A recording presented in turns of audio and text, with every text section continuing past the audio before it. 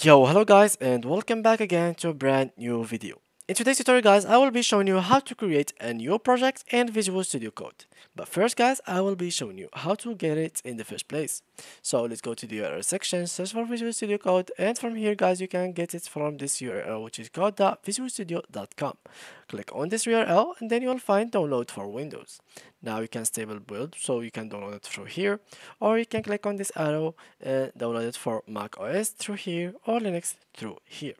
Of course, there is other downloads ways, so you can click here to, uh, to have them, as you can see here, or you can just open it on web like so. Now, guys, make sure that you are not confused between Visual Studio Code and Visual Studio. They are completely different software, so don't actually download this software because they do so much so many tasks that are completely different.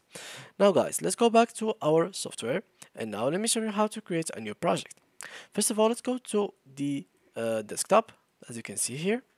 And it's basically as simple as you can see. All you need to do is actually click on, for example, here, new folder. So, uh, sorry, let me just close this. So here, new folder.